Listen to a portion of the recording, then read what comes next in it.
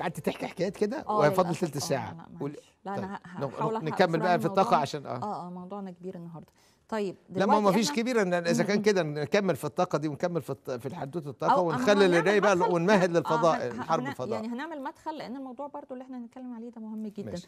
بس برضو قبل ما انقل من الموضوع اللي هو إحنا اتكلمنا على الشاكرز والامتصاص للطاقة الكونية لازم برضو أذكر إن جسم الإنسان عبارة عن دائرة كهربية الدائره الكهربيه دي دائره كهربيه كاملة وكل اللي بيحصل في جسمنا معتمد على الكهرباء تماما. وعشان كده إحنا اتكلمنا المرة اللي فاتت مثلا عن حرب واستغلال الموجات الكهرومغناطيسيه وكده لأن ال magnetic field أو المجالات المغناطيسية لما بتدخل بتف... بتقوم عاملة في الدائرة الداخلية حاجة اسمها eddy currents أو تيارات شارده وهو ده اللي بيبهدل الدنيا. م. okay؟ هم بيبقوا لها حسابات بقى معينة. بس بصورة عامة جسم الانساني عبارة عن دائرة كهرباء. مرة إن شاء الله هنشرحها ونشرح إيه علاقتها بالمعابد المصرية. إن إزاي كانت المعابد المصرية بتتبني على الدائرة الكهربائية بتاعة الإنسان. أوكي؟ والكلام ده كان ليه. بس النقطة اللي أنا عايزة أقولها ليه أنا بذكر إن إن الدائره الكهربائية بتاعه الإنسان عشان أذكر لهم إن ال الأرض حصل خلل في المجال المغناطيسي بتاعها من آلاف السنين وصل لفوق 80% دلوقتي من الخلل بتاع المجال المغناطيسي بتاعها okay؟ ده مأثر على الإنسان تأثير جامد جدا ومأثر على وعيه ومأثر على ال DNA بتاعه.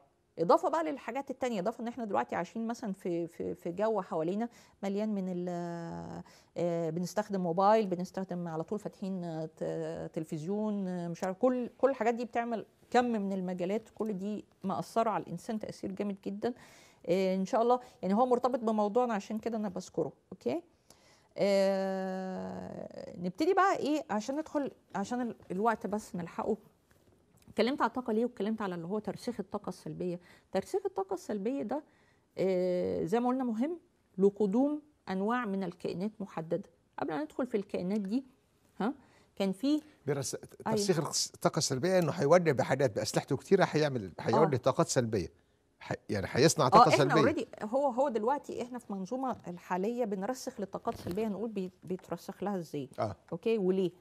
آه إزاي الأول؟ آه. لكن عشان نعرف مثلا يعني بتاخد كذا شكل. آه، من أحد هذه الأشكال مثلا الأبراج اللي هي آه، أبراج اللي هي شاهقة جدا اللي بقى لها فترة بتتعمل وبتتعمل في أماكن محددة. أماكن محددة اللي بتتعمل فيها الأبراج دي أماكن اسمها ال vortex point أو تقاطع خطوط الراعي. إيه هي خطوط الراعي؟ ده هيدخلنا الراعي. آه خطوط الراعي أو ال ley lines هي اسمها ال ley lines هي اسمها بالعربي خطوط الراعي. ده هيدخلنا في حاجة مهمة جدا. اللي هو كان في أخ فاضل سأل عليها المرة فاتت وأنا ما كنتش سامعة عين بس شفتها في القعدة لما سأل يعني إيه عين؟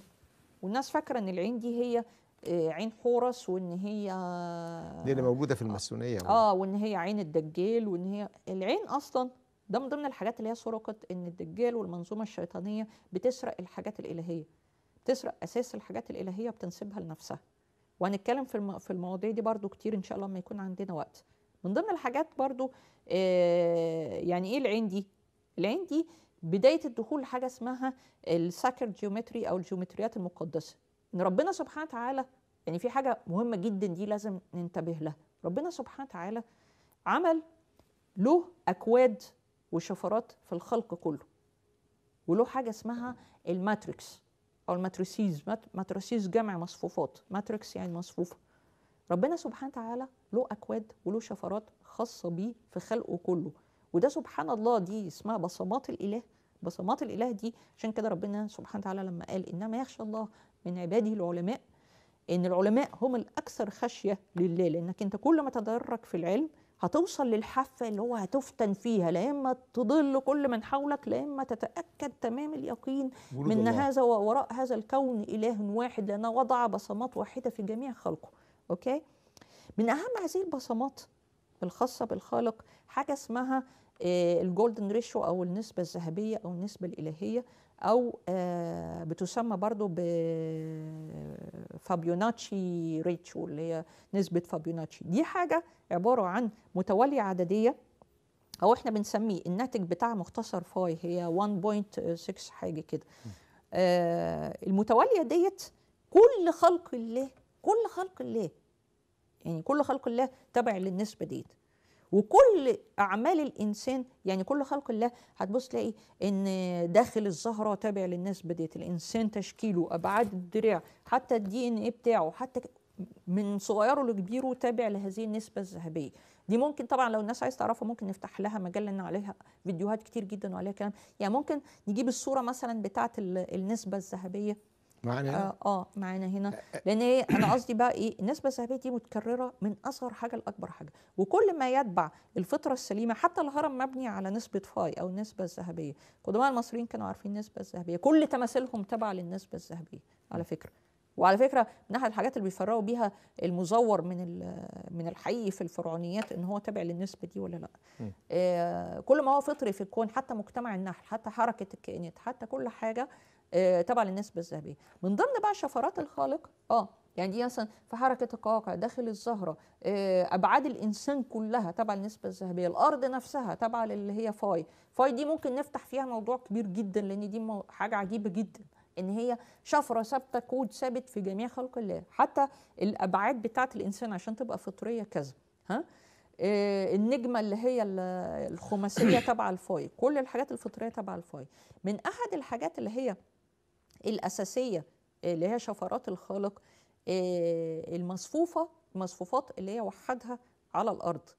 مصفوفة ديت عبارة عن إيه؟ آه، عبارة عن يعني ممكن برضو استاذن أستأذن في آه، صورة اللي هي بتاعت خطوط الراعي خطوط الرعد آه. آه، دي عبارة عن إيه؟ خطوط هي آه، مصفوفة معمولة على كوكب الأرض لفة كوكب الأرض هي اللي فيها الخطوط الأساسية بتاعه الطاقة العظيمة جدا اللي عاملة توازن على الأرض الطاقة المغناطيسية العظيمة جدا.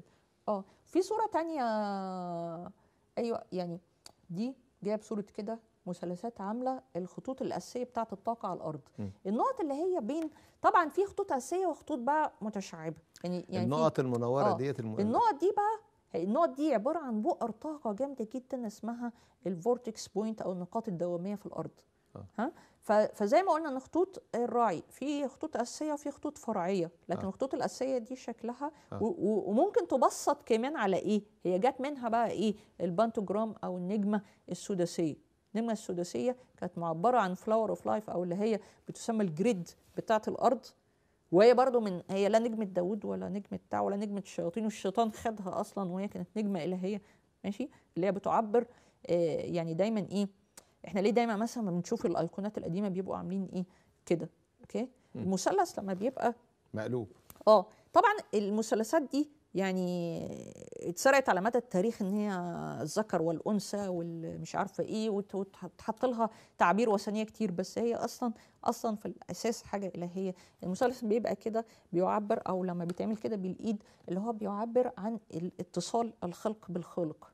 الخلق بالخالق. آه والعكس صحيح. لما بيبقى مثلث اللي هو المقلوب دوت. فاتصال الخالق بال- بالخلق بال- بالخلق آه.